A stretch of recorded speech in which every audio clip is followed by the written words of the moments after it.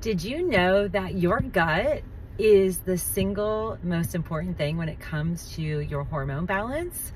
If you're curious and you've never heard this, I'm going to share with you, or actually invite you, to join my gut healing masterclass.